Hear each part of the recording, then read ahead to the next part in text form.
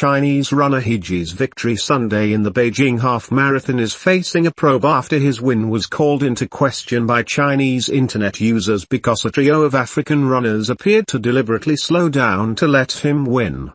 A video clip of the finish to the race shows Kenya's Willy Mnangat turn toward he and gesture him to move ahead as the four men run neck and neck just meters from the finish line.